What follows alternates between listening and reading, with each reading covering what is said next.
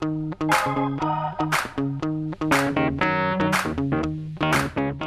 you start with the team news first of all tomorrow?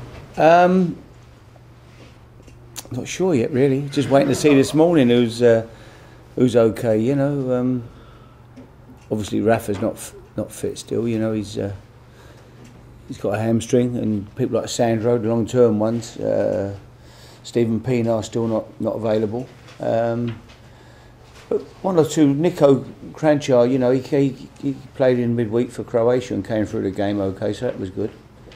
And uh, Luka played as well. So, but the others all came back okay from, from international duty. The likes of Van der Vaart, Gallas, King as well. How, how long do you expect them to be out for? Well, we're not sure. Williams in you know a couple of weeks probably, but Rafa's coming on well. He's, he's uh, you know at first I think we we diagnosed six weeks. That was the uh, the people saw it. But he's been to see someone in Holland who he, he goes to see all the time, and he picks up these injuries. And uh, and the guy apparently has pushed him on weeks, and uh, is is not that you know he, he'll be back much quicker than that.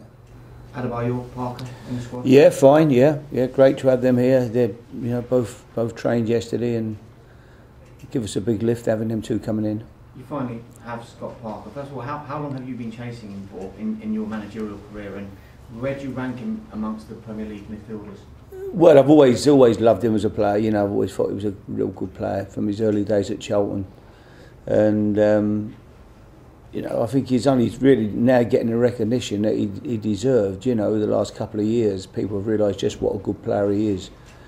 Uh, he had a great time at West Ham, so so we've chased him, and he's now he's right up there with the best best midfield players in the country for sure. He's top top drawer.